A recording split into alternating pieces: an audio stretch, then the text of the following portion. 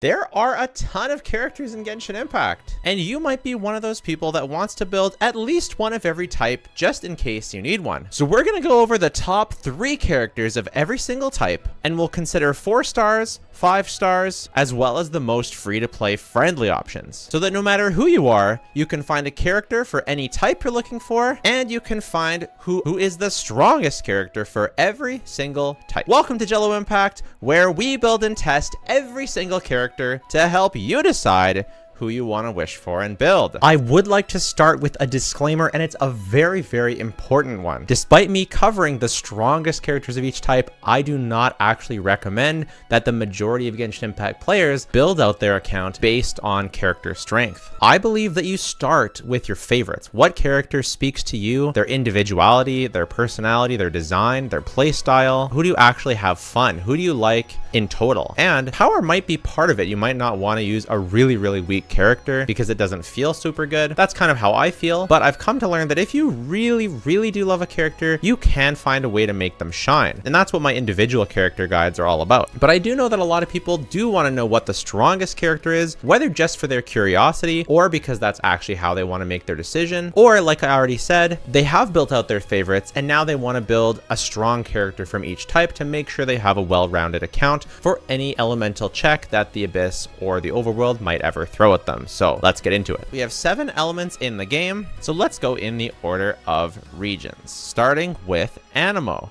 You're probably not surprised at all to hear this, but I definitely think that Kazuha is the strongest Anemo character, and I don't think it's close. I think he's one of the strongest characters in the game. His buffing potential, his grouping potential, and his personal damage, and of course being able to very well hold the VV set, all combine to make him an extremely potent character and a great addition to any account. If I was to pick a strongest 4-star, I would definitely pick Sucrose. She would also be my pick for the most free-to-play friendly character because in many situations, she is on par with Kazuha, and in a couple situations, she even surpasses him. She's an incredible character, and although I do think overall Kazuha is better, I think Sucrose is so good that she carves out a niche all to her own and stands on her own two feet is not just a great free-to-play option, but an incredible option overall. Since this is a top 3 list, I will put Faruzan as the third best Anemo character. Yes, ahead of Venti, ahead of Xiao, ahead of Wanderer, because Faruzan is truly who enables Wanderer and Xiao to actually function. You could even argue that she is on the same level as Sucrose because of how much she buffs the characters. The only caveat is, of course, her C6 is really what unlocks her full potential. As long as you're willing to look past that, she easily makes the top 3 spot, and that's who I would, and this is who I would say. Next up is Geo. Oh boy, I don't feel that Geo is in a very good spot right now, and I'm hardly the only person that thinks this, but I do think it's pretty fair to say that Zhongli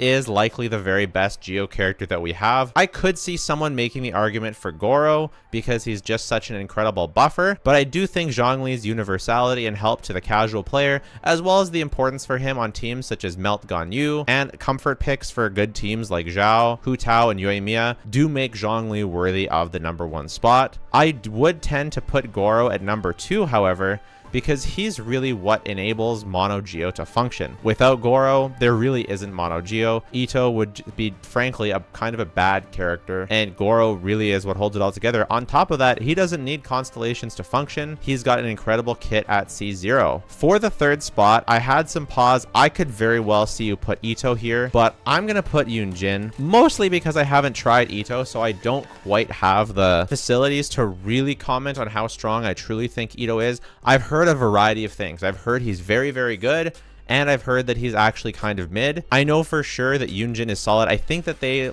both land around the same level in terms of power. But I also think that Yunjin's flexibility, her splash ability, her ability to work in double geo with Zhongli, with characters such as Yoimiya or Ayato or Wanderer, I think gives her more value. So I think that I would put her above Itto anyways. You could even potentially argue that she goes over Goro.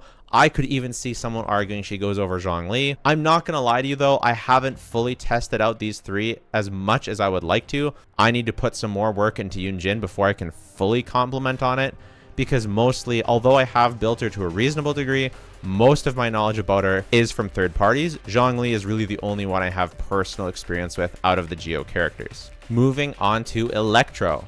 And this is one I've given a lot of thought because if you're a longtime viewer of the channel, you know that it's not close. My favorite character in the game is Raiden. So I don't want to be biased here. I don't want to just say, oh, Raiden's the best. She's my favorite. She's the best.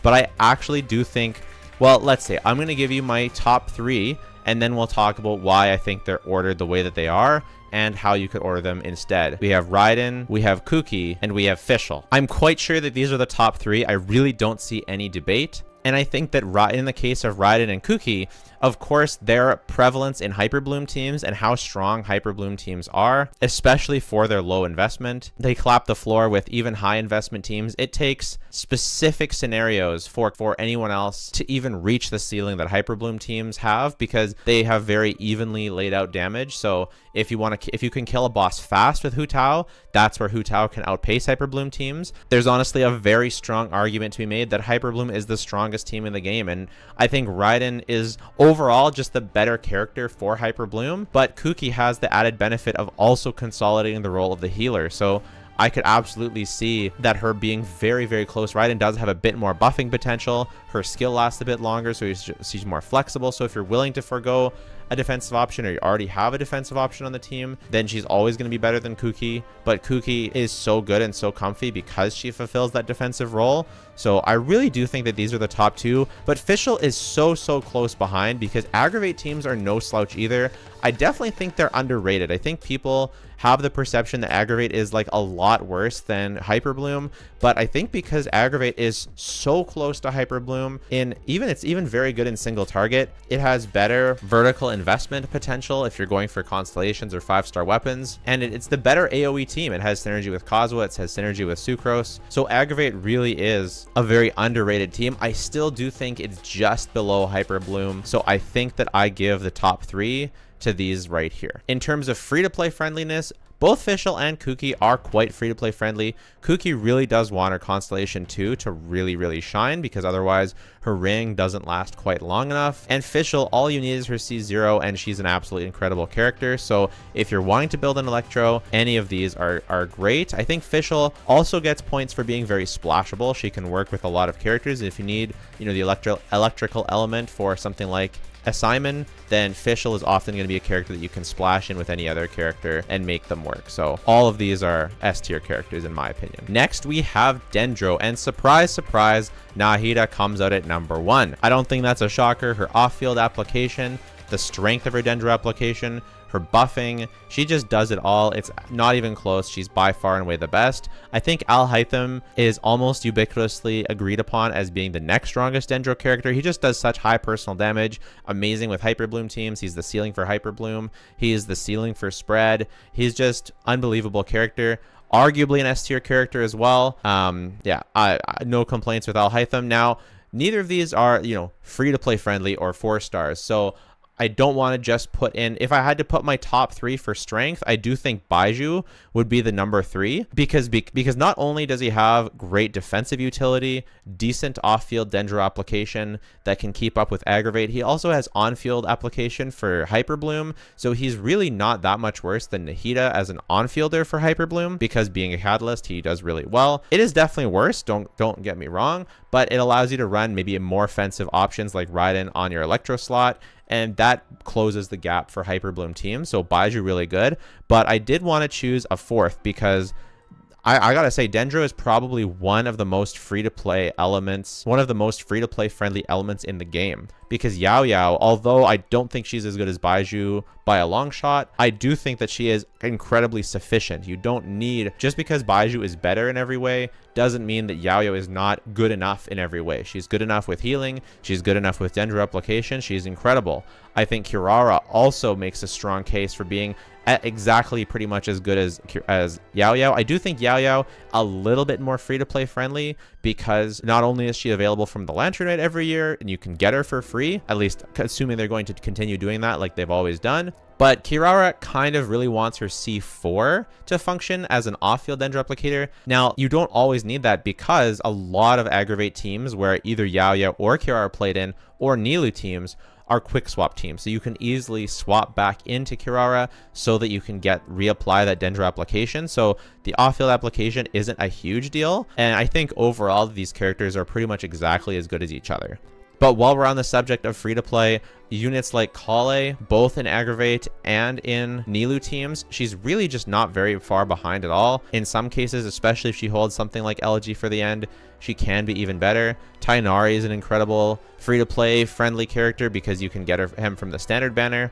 And of course, Dendro Traveler is also an excellent character. So lots of free-to-play options for Dendro, uh, but I, I do think that these are my top three. Next is Hydro, and boy, have I been thinking about this a lot. I know a lot of people are convinced that Xingqiu is just the best character in the game, the best Hydro character. It's not close, it doesn't matter. I really think that there is a case to be made that Yelan is very close, if not just slightly better than Xingqiu because yes, he provides interruption resistance. Yes, he provides damage reduction, but you don't always need that. Oftentimes, either you can forego a defensive utility completely or you're already going to be running a defensive utility like Bennett like Kuki or whoever it may be. And in those cases, or like Baizhu in the case of Cyno teams, like Kuki in the case of Alhaitham teams, in certain cases like Hu Tao, it can be tricky to run without a to run her without a defensive utility, and Xingqiu provides enough, especially combined with Hu Tao's healing and stuff like that. Whereas Yelan, maybe if you're like if you're really if you're not playing optimally, and you don't ever see one, it can be very hard to go without